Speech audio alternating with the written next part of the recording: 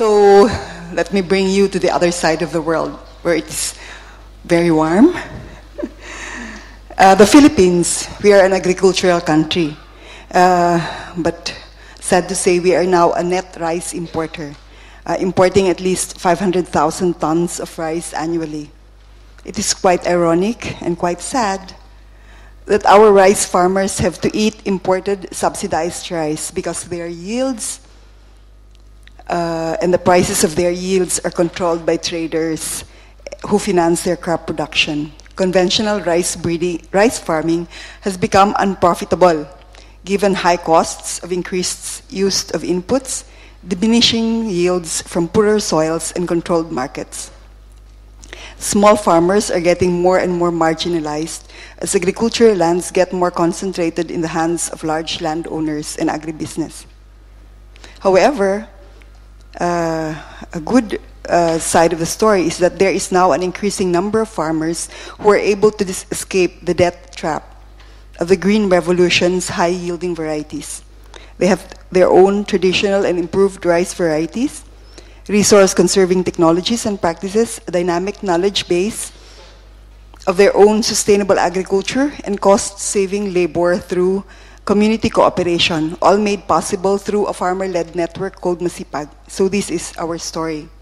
Masipag is the Farmer Scientist Partnership for Development in Agriculture.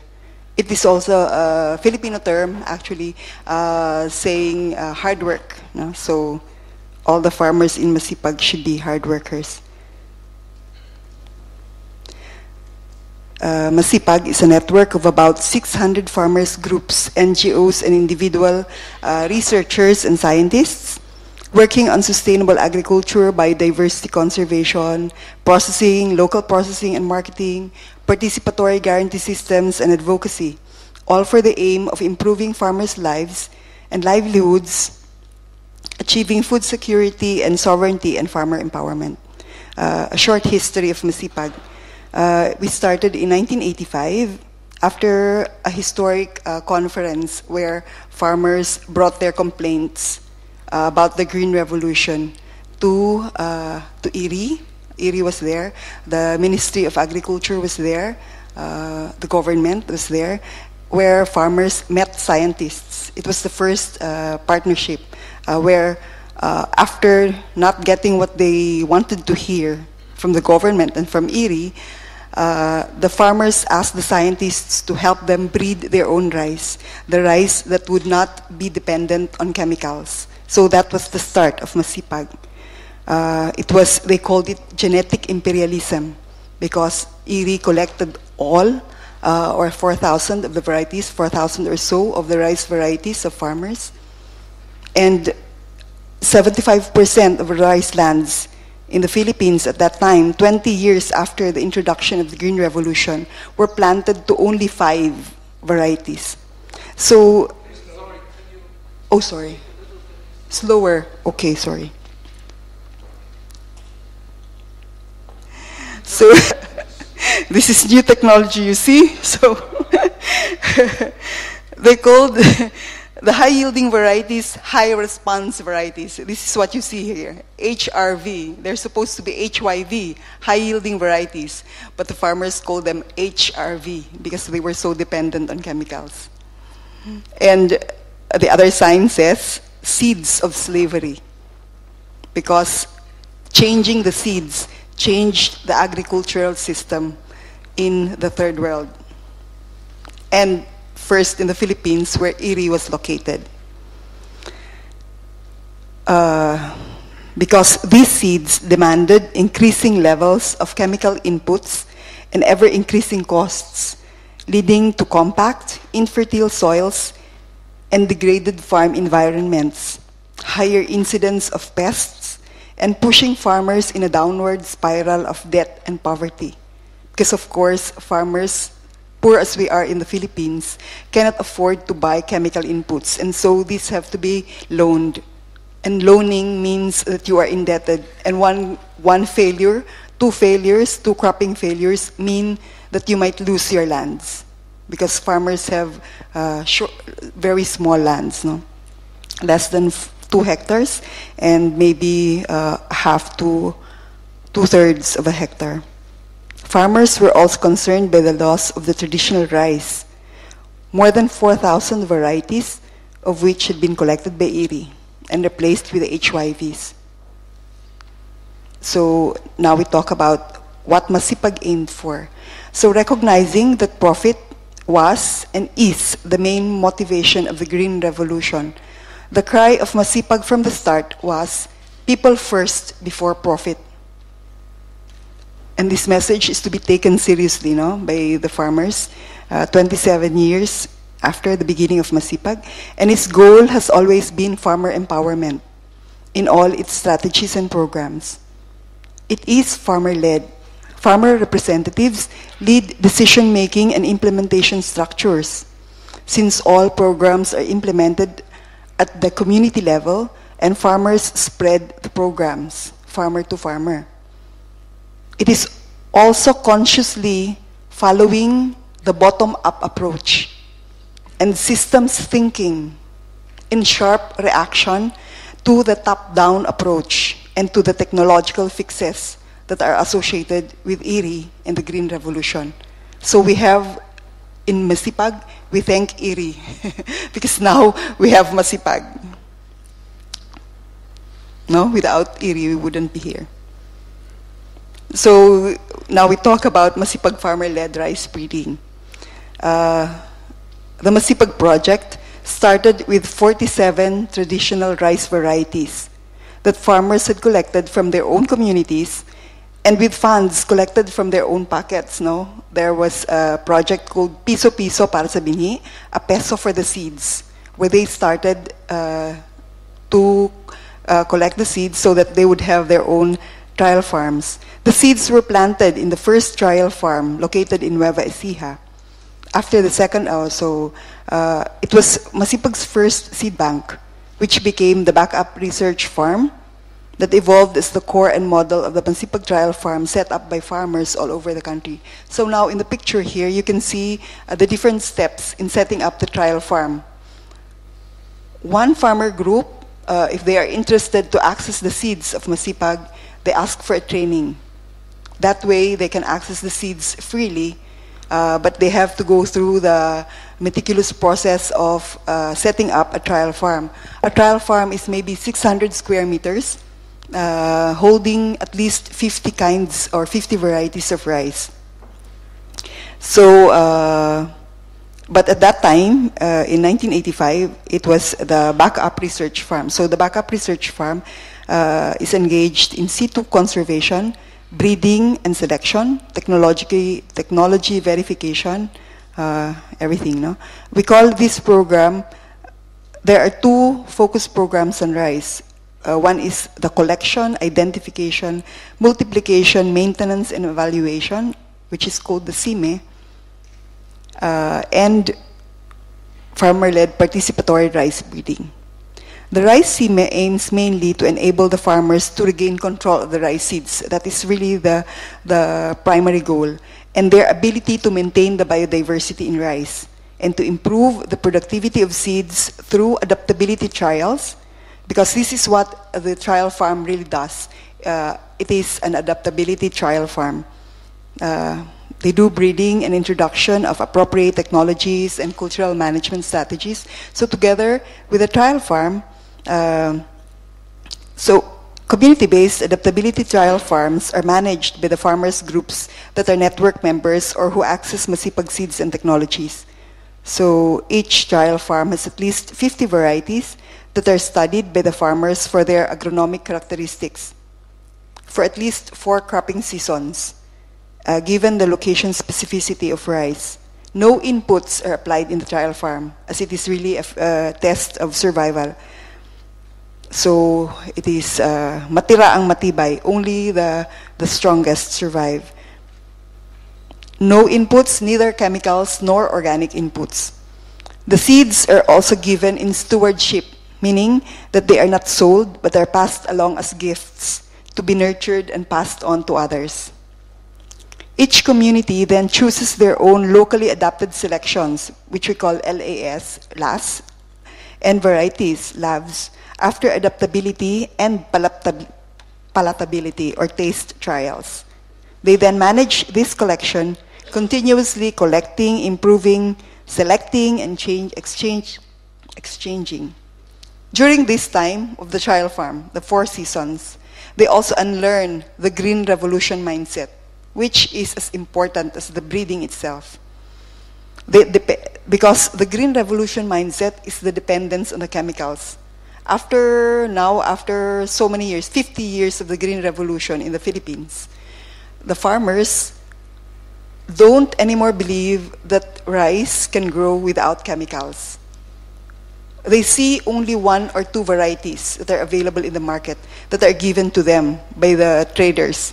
And so, uh, to see so many kinds of rice, it opens up their eyes. You know, I saw one presentation when you said how amazing it is to see the difference. So the farmers are really amazed to see the different uh, kinds of rice. Uh, during this time also, the appreciation for the rice plant and the biodiversity of the rice fields unfolds as the farmers get amazed by how much diversity there, there is in rice, how they can grow and yield without chemical inputs. The trial farm then becomes their school and their laboratory and is the important turning point in their experience towards sustainable agriculture. Because it is a long process. Four cropping seasons is really a long process for farmers who have been, who have, who are used to the instant, you know, the instant mentality that you have these seeds, you grow this this way and that way, and then you're given the, the package of fertilizers, the package of technologies. So this is where they learn to do it slowly. Let me see what is the next. Oh, okay. So that picture first. Uh, so now, uh, in 2013, how many years? We started crossbreeding in 1988, and you can see uh, that in 20, oh, but this is 2009. Uh, from in 2009, we had 1,292 selections of rice, and most of it still, still, uh, what do you call it in agronomy? Still durable, still strong, even after so many years. Usually in conventional breeding, they say it's only five years, and then they go back to their original characteristics. But here in Masipag, we have like M45.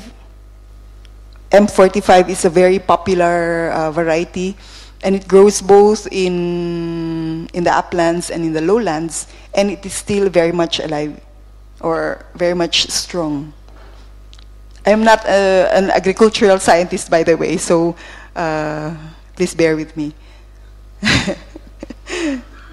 advanced farmers get more interested in the rice diversity and they get trained on rice breeding in the early years farmers were participants now they were participants in the breeding because they were guided by the agricultural scientists who determined the, the breeding objectives. The objective then was to improve the local adaptation of varieties and promoting the genetic diversity. But in the last few years, this has changed as the challenges of climate change intensified and farmer breeders chose their own breeding objectives depending on their needs, particularly tolerance to drought, uh, flooding, saline soils, and to particular pests and diseases. These are in addition to the characteristics that farmers want in their rice varieties, which are, uh, these are what they want. High yielding without the use of chemical fertilizers, early maturing, uh, resistance to pests and diseases, resistance to drought, of medium height, having strong stalks, non-lodging, high tillering capacity, long panicles, more grains per panicle, long grains. So these are what they want.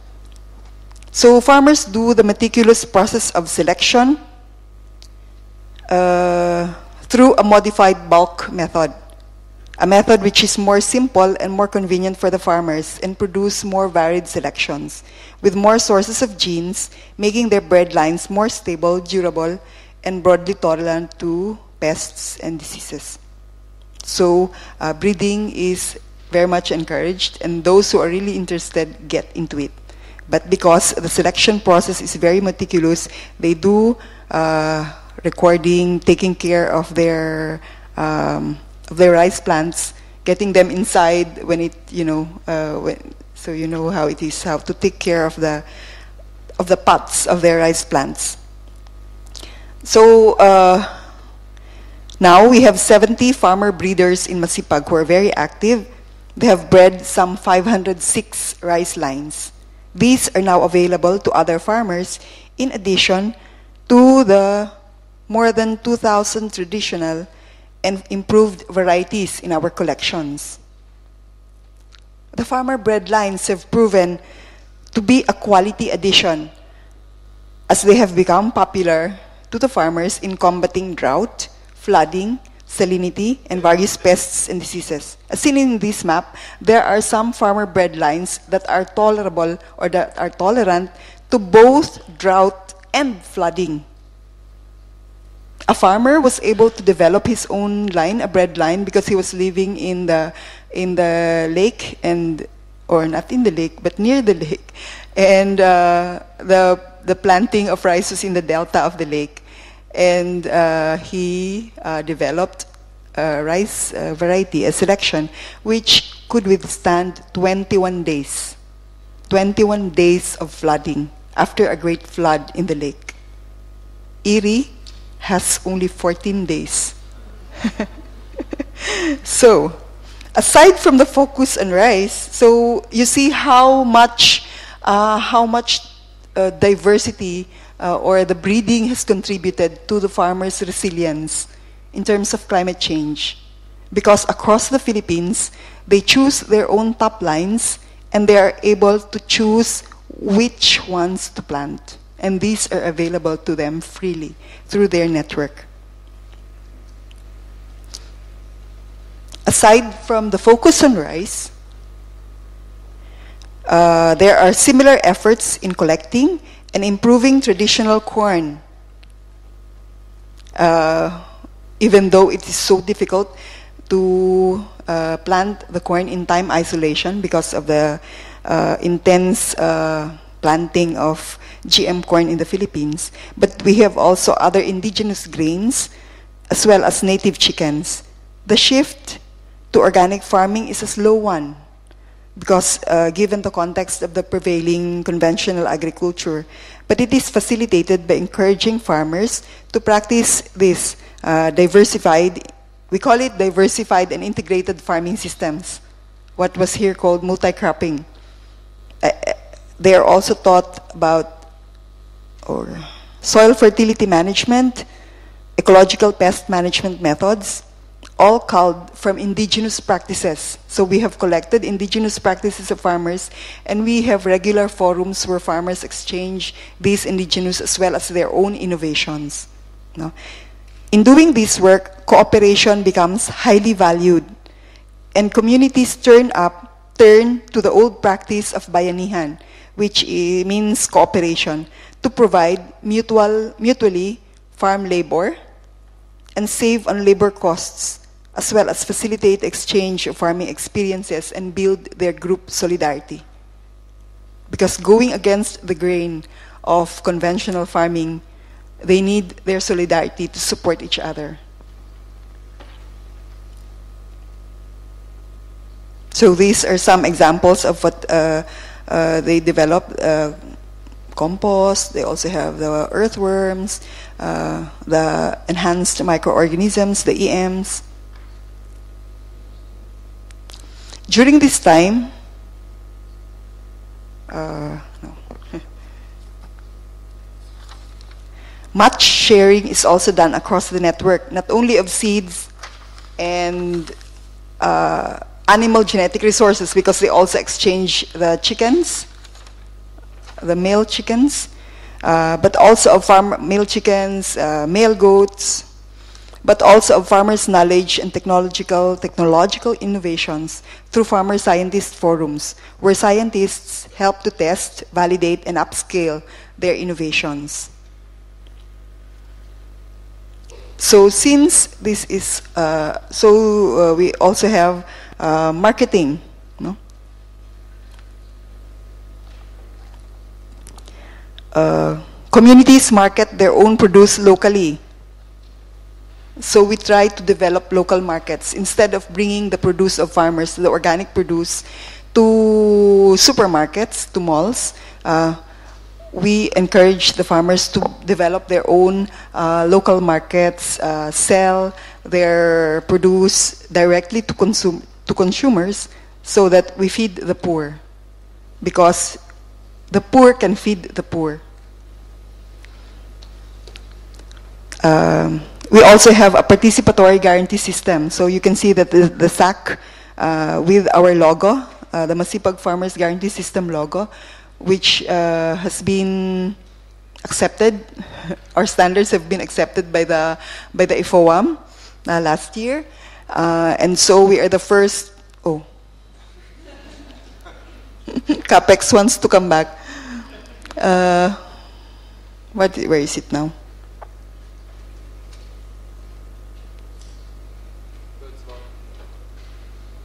Two minutes. Okay, so we have the MFGS logo, no? Where farmers inspect, uh, evaluate, no? do the entire, uh, uh, what do you call it, the guarantee system. And farmers represent their organizations also in local agriculture, local organic agriculture councils, taking advantage of the, we have a new organic, organic agriculture law and helping to influence the direction of organic agriculture in their own area. As a result, more municipalities, more towns are now adopting the PGS, the participatory guarantee systems, developing their own standards so that their focus is not on export markets and not on big producers, but on developing their small farmers. All these local efforts, plus the visibility of the vocal farmers, uh, help to push the food security agenda at the provincial and national levels. So this, uh, the picture is organizations at work. No? They have to plan uh, how they do their bayanihan. They have to uh, develop their own organizations because uh, a developed human resource base uh, is very important in pushing through with sustainable agriculture so that it is sustainable even without Masipag because Masipag is a network and these farmers' organizations are autonomous at the local level. So they have to continue it even without the network. Uh, this is, uh, I wanted to show you how we do the, the networking of relationships. Since we are talking here about relationships and about networking, how from the household level, farmers are able to spread the message of Masipag, farmer to farmer, about farming systems. But at the community level, they do the biodiversity conservation, both of rice, crops, and animals. Uh, they do the bayanihan, they do their land struggles, uh, they do the dissemination of agricultural knowledge through training, uh, fair prices and markets for products, you know, any, everything that can be done at the community level. And these strong communities help to make for strong uh, provinces and national level advocacy. Because it is at the national level and at the, at the provincial level where we advocate for food sovereignty. That we should have control over our own agriculture systems. And that is in practice. However, uh, this is how we do advocacy at the local municipalities, towns, councils, uh, farmers uh, advocate for organic agriculture, advocate against GMOs, so that farmer, uh, so that municipalities can pass uh, GM moratoriums on on GMs, even if the national government uh, passes them.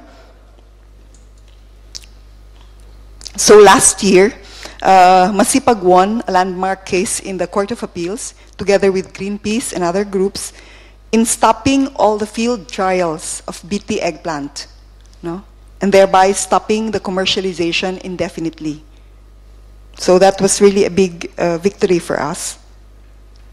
However, the, the Philippines is a playground of GM companies.